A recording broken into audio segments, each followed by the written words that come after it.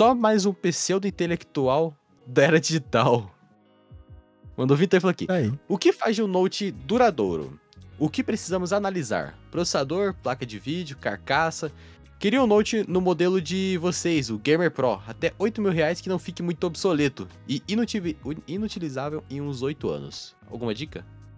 Inutilizável vamos por não vai ficar, peraí. mas em oito anos ele vai ficar obsoleto. Isso é inevitável, acho que não tem o que fazer. Felizmente. É muito tempo aí, se for pra jogar, né? É, mas, cara, vamos lá. O que, que precisa analisar- O que, que é um notebook duradouro? É que duradouro é uma palavra que abrange muitas áreas. Por exemplo, tem o duradouro físico, né? Tipo assim, você. Notebook não estragar a dobradiça, não estragar, não estragar, tipo, quebrar né, a carcaça tal. Então, sim, construção é um ponto que vai deixar o notebook, vai fazer o notebook durar mais. Notebooks de entrada, que são todos de plástico, que tem aquela dobradiça. Eu fico brincando, tipo, ah, notebook não abre usando numa mão só. Isso é um sinal de dobradiça Mas meio isso simples. aí com o tempo é sinal dobradiça simples. É, espécie. então, tipo assim, ah, isso significa que dobradiça mole tem mais qualidade? Não, mas normalmente dobradiça que foi pensada pra você abrir usando uma mão só é uma dobradiça mais trabalhada. E provavelmente ela vai ser melhor que uma dobradiça simples. Tipo, nem se importou nessa questão de usabilidade, entendeu? Então é um ponto aí que talvez afete um pouco a durabilidade. É, materiais utilizados também importam. Como eu falei, notebooks de plástico, com tampa de plástico, por exemplo, riscam com uma certa facilidade. Depois de alguns anos, mano, teu notebook vai ficar todo riscadão ali, né? Eu, tem um notebook aqui no. Não posso dizer qual foi, mas tem um notebook aqui, por exemplo, que tem uma construção muito boa. Caiu no chão aqui. Mano, caiu numa altura alta, né? Uma altura re- é, bem relevante ali. Vivão. Ele quebrou uns parafusos e tal, assim, ele não voltou 100% não. Mas ele sobreviveu. Tô usando até hoje, né? Então, mas a construção dele é diferenciada. Se fosse notebook mais simples, pode ser que já quebrava a carcaça, rachava a carcaça, Já né? quebrava a tampa ali, já, né? Desmontava ali. Então, então acho que sim, materiais utilizados é importante você ver. Aqui, por exemplo, tem essa parada de certificação militar. Então, teoricamente, esse notebook, ele aguenta, né, ele é mais resistente, não é que ele vai aguentar, mas ele é mais resistente a quedas, a não é tre- é vibração, né, que eles falam, não é tipo, não é tremedeira, Não, é. terremoto nem nada, mas é, é vibração. vibração. Então, tem, vários, tem vários cenários, né? Frio, calor demais. Poeira excesso, também. Poeira, maresia. Maresia, que oxida Maresia. bastante a placa. Exato. É... Aí a Nicolas falou, certificação militar deu resultados? Pior que não foi um que tem certificação militar, não. Aprendi. Não foi. Ele, pelo menos eu, não- eu nunca, nunca vi falando que tinha. Eu acho que não e, e, também, e também é um nosso aqui. É um que sempre tá com a gente. Mas outra coisa. É, outra parada sendo duradouro. Ah, não, mas eu não tô falando de carcaça, tô falando de durabilidade de componentes. Quero saber se esse CPU vai ser mais forte lá na frente. Cara, placa de vídeo envelhece bem rápido.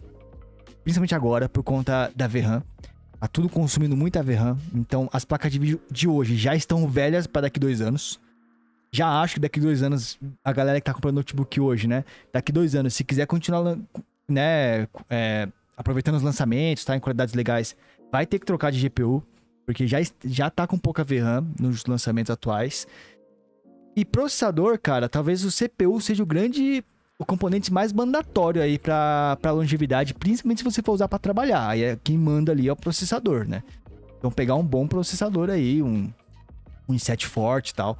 E aí vai ser o, vai ser o que vai mandar na durabilidade e de usabilidade do, do Note nessa parte de pro- produtividade, né? Eu até esqueci o resto das perguntas. Eu falando tanta coisa que eu esqueci o resto da pergunta.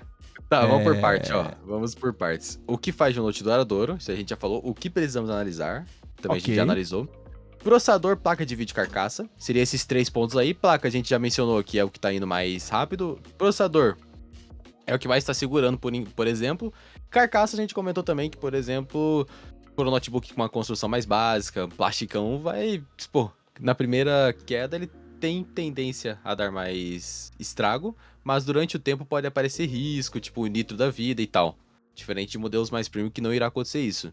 E aí ele perguntou também: qual modelo 8 mil, Gamer né? Pro até 8 mil que não, fica, não vai ficar muito obsoleto e inutilizável em 8 anos? O problema é, a categoria que ele quer, Gamer Pro, nessa faixa de preço aí, só tem um. Galaxy Book 3 Ultra. Galaxy Book 3 Ultra. Que ele vai trincar até em 3 é. dias. Tem perigo. Eu acho que esse é o que Grande. menos dá pra falar que é duradouro. É, eu pensei que era, mas muita gente é, reclamando de trinca de tela aí do Então, Book 3 Ultra, cara, cara. E é Cara, eu- bastante. por 8 mil, Gamer Pro, mano. Sabe quem que eu ia falar que talvez seja uma opção? Concorda ou não? Será? Fez. Tá um pouco acima de 8. Acho que o Eu terceiro ele pensei. Só que aí Hein? Agora vai eu ter fiquei gente curioso. que vai falar que não- A70 Ion. com certeza Ah. não, mas. Boa. Então, mas aí tem um Escolha. ponto aqui. Construção não é um ponto forte do A70. Tipo, ele é muito legal. Tipo, eu gostei Ele é melhor da, do da que Tong construção Feng dele. no geral. Sim, mas continua sendo Tong Feng. Esse é o meu ponto, entendeu? Tipo, ele continua tendo uma construção mais simples do que os concorrentes. Não tem jeito. Por mais legal que ele seja, ele é todo de metal e tal. Né? Ele, é um, ele é um chassi remarcado. É tipo você comparar um Pichal Centauri contra um monitor da Gigabyte. Né? Ou um monitor da LG Ultra Gear. Você, você nota uma certa diferença. Ambos são excelentes, mas você nota uma diferença de nível de construção. Mas Pro Gamer, nessa faixa de preço, ou é o, o A70 Ion, ou é o Book 3 Ultra mesmo. 4050. Assim, a opção. da- é, em promoções ele consegue pegar até o 4070, por exemplo, no Banco Inter, quando aparece, né? Não é Sim. todo dia. Ma- é. Mas.